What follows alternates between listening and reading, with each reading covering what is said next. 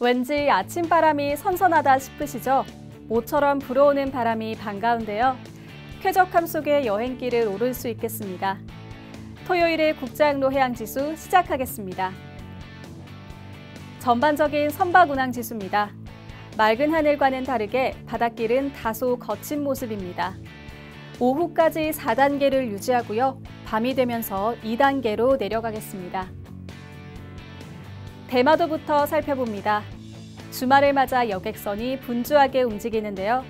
부산과 가장 가까운 히타카츠로 많이 출항하고요.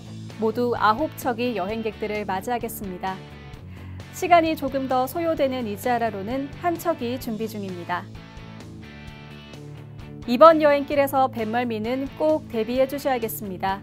파도가 3m 이상으로 매우 높고요. 바람도 강하게 불어오는데요. 흔들림이 강해 멀미를 느낄 가능성이 높습니다. 짧은 거리지만 멀미약을 챙겨주시면 좋겠습니다. 대마도는 바람이 불면서 더위가 조금 가라앉을 것으로 예상됩니다. 옷을 챙겨 입기에는 아직 이르니까요. 가벼운 겉옷을 챙겨 체온을 조절해 주시기 바랍니다. 다음 여행지는 후쿠오카입니다. 토요일도 4척이 준비되어 있습니다. 뉴 카멜리아호는 일요일 오전에 도착하니까요. 당일 도착을 원하신다면 비틀호를 이용하시면 되겠습니다.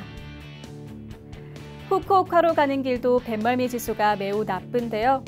여행길을 막아서는 거친 파도와 바람이 문제입니다.